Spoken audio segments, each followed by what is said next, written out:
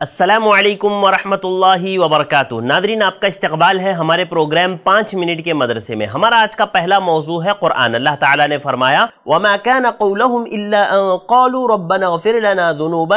व इसराफना फ़ी अमरिना व सब तकदामना वंसुरना अलल कौमिल वो यही कहते रहे ए हमारे परवरदिगार, हमारे गुनाहों को बख्श दे और हमसे हमारे कामों में जो बेजा ज्यादती हुई है, उसे भी माफ़ फरमा और हमें साबित कदमी अता फरमा और हमें काफिरों की कौम पर मदद दे। अल्लाह वाले मुजाहिदीन के कौल की खूबी बयान की जा रही है कि वो लोग अल्लाह के हुजूर अपने गुनाहों का एतराफ़ करते हैं और तोबा व इस्तफ़ार करते थे और अपने रब से दुआ करते थे कि अल्लाह तो हमें साबित कदमी अता फरमा और दुश्मनों पर गलबा अता फरमा। इस आयत में एक दलील ये भी मिलती है कि इंसान को चाहिए कि जो भी अमाल में और आप अंजाम देते हैं तो उसमें जो कमियाँ और जो कोताहियाँ होती है, उसकी माफ़ी की दुआ भी हम अल्लाह रब्बुल आलमीन से करते रहें। कि हमने जो नमाज़ें पढ़ी, अल्लाह ताला तो इसमें जो खलल हुआ है, इसमें जो कमी है, अल्लाह ताला तो इसे माफ़ फरमा।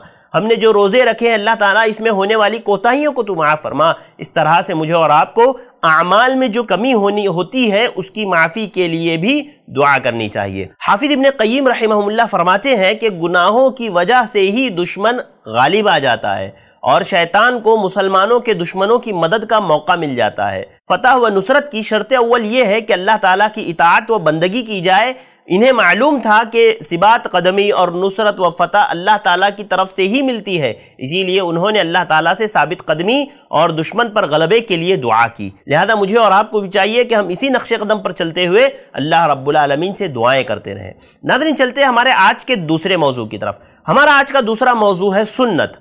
सुन्नत में आइए, सबसे पहले हदीस देखते हैं। हज़रत आयशा रज़ी अल्लाह तहा अल्लाह के नबी सल्लल्लाहु अलैहि वसल्लम के अमल के बारे में बताती है वयुसली तिस रकातिन ला यजलिसु फीही इल्ला सामिना कि अल्लाह के नबी सल्लल्लाहु अलैहि वसल्लम नौ रकात वित्र पढ़ते थे। कितनी? नौ रकात अल्लाह के नबी सल्लल्लाहु अलैहि वसल्लम वित्र पढ़ते थे और आप आठवीं रकात में तशहुद में बैठ जाते थे। सुम यकूम फयुसल्लितास्या और फिर आप खड़े होकर के नवी रकात पढ़ते और सलाम फेरते थे। यानी अल्लाह के नबी सल्लल्लाहु अलैहि वसल्लम से नौ रकात वित्र भी साबित है। मैं तहजद की बात नहीं कर रहा, वित्र की नमाज़ की बात कर रहा हूँ। जैसे हमने पिछले दुरूस में देखा कि एक रकात वित्र, तीन रकात वित्र पाँच रकात, सात रकात वित्र भी साबित है। इसी तरह से नौ रकात वित्र भी अल्लाह के नबी सल्लल्लाहु अलैहि वसल्लम से साबित है। हमने देखा पाँच और सात में पूरी नमाज़ एक ही तशहुद के साथ पढ़ना है। उसमें दो तशहुद नहीं होंगे, यानी जैसे आप पाँच रकात अगर वित्र पढ़ रहे हैं तो पांचवी रकात में आप कायदे में बैठेंगे और सलाम फेरेंगे। सात रकात अगर आप वित्र पढ़ रहे हैं तो पूरी सात रकात आप कंटिन्यू पढ़ते रहेंगे और सातवीं रकात में आप कायदे में बैठ करके सलाम फेरेंगे। अब जब आपको नौ रकात अगर वित्र पढ़ना है तो नौ रकात के लिए आपको दो तशहुद करने होंगे। एक तशहुद आठवीं रकात में आप बैठेंगे तशहुद में, तशहुद की दुआएँ पढ़ेंगे, फिर खड़े हो जाएँगे। फिर नौवीं रकात पढ़ेंगे और फिर उसके बाद तशहुद करके सलाम फेर देंगे। ये नौ रकात वित्र पढ़ने का तरीका है। नाजिन चलते हैं हमारे आज के तीसरे और आखिरी मौजू की तरफ़। हमारा आज का तीसरा मौजू है अल्लाह की निशानियाँ। अल्लाह की निशानियों में आज हम बात करेंगे जबान के ताल्लुक से। जबान अल्लाह रब्बुल आलमीन की एक अजीम नियमत है। उस नियमत की असल कदर वो जानते हैं जो क़वत गोयाई से महरूम है, जो गूँगे हैं, बोल नहीं सकते।